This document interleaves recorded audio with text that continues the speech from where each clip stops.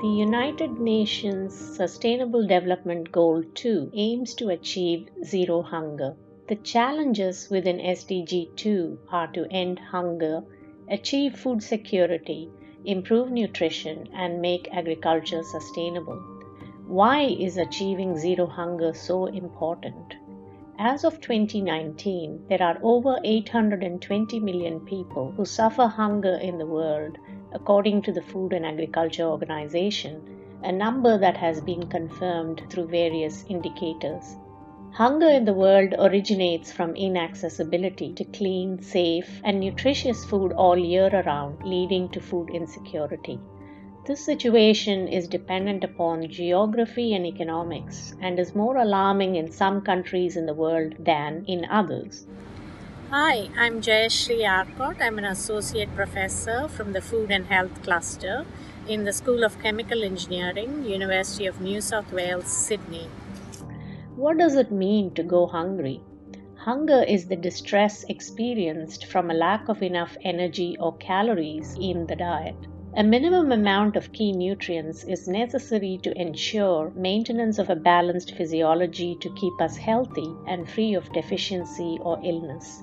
These nutrients are protein, carbohydrates, fat, vitamins, and minerals, not to forget water.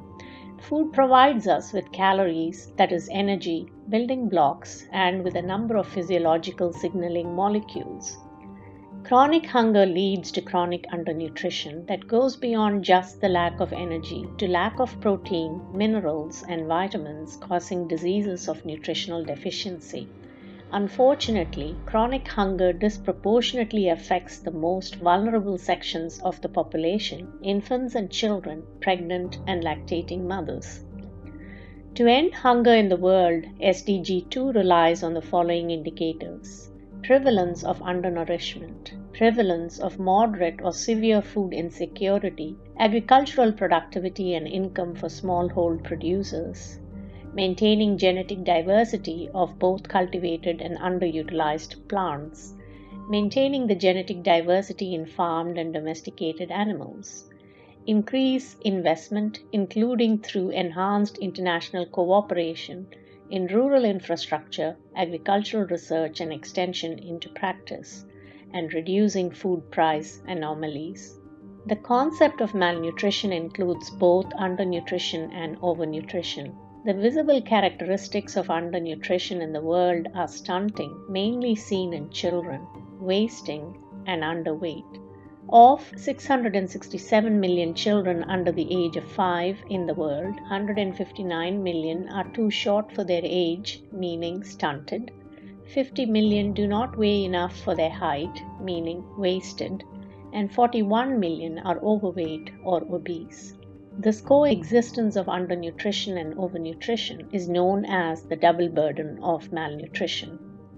Let us take a closer look at a case study on the prevalence of undernutrition in our neighboring country, Papua New Guinea. Alarmingly, almost one in two children in Papua New Guinea suffer from chronic undernutrition, causing stunted growth. Papua New Guinea has the fourth highest child stunting rate in the world, 48.2%, a rate that is double the global average. When dealing with such a scenario, we're not only dealing with a threat to child survival and development, but a major threat to sustainable economic growth.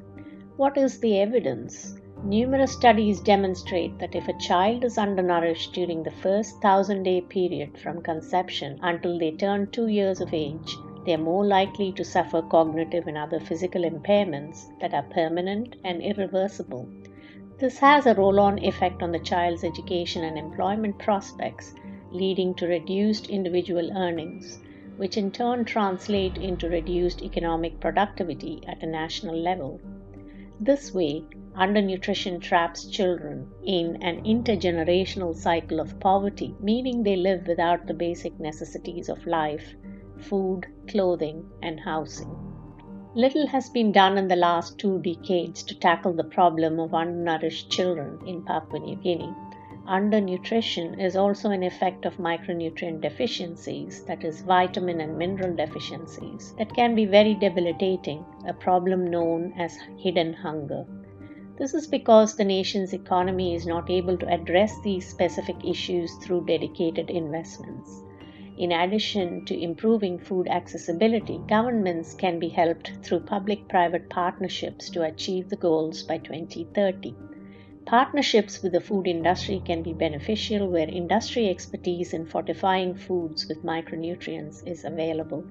Staple foods such as flour can be mandated to be fortified with required nutrients and made available in a form attractive to children to eat through school meal programs.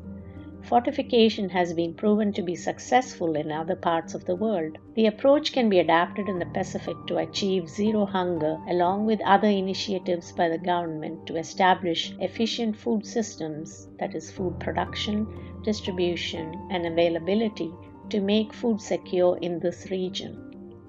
We often tend to think that food security and hunger is limited to countries which lack economic resources.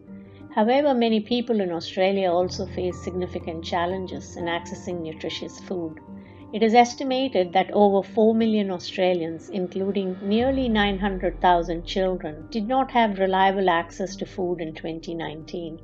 People with low or no income, the homeless, people living with disabilities, or who have chronic health issues, Aboriginal and Torres Strait Islanders, those living in rural and remote areas, and the elderly more frequently experience hunger and have reduced access to nutritious food. Poverty is at the core of all hunger. Addressing SDG 1 will help achieve SDG 2 as well as many other SDG targets. The problem of hunger will likely become bigger in future due to climate change, population growth, rapid urbanization, increasing cost of living, and increasing inequity in the world. However, there is something you can do right here to help those suffering from hunger.